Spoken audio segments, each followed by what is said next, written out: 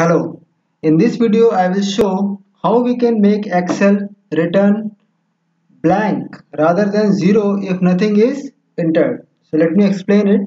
Okay, so here you can see I have written uh, is equal to D7 in cell E7.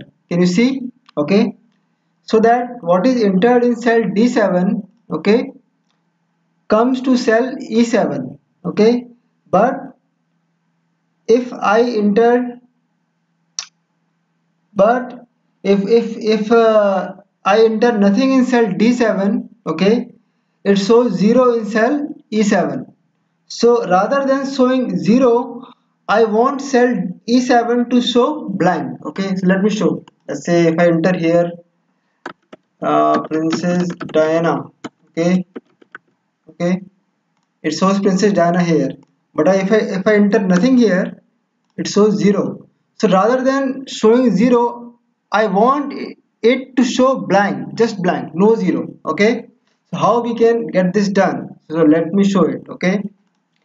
So let's do it equal if d7 equal okay? Okay d7 okay? Fine. That's it?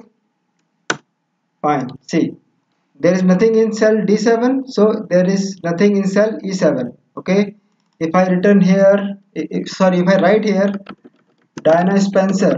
Okay? It shows Diana Spencer. Okay?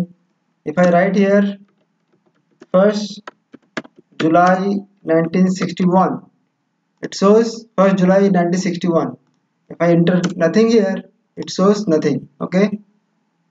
So with that we are done okay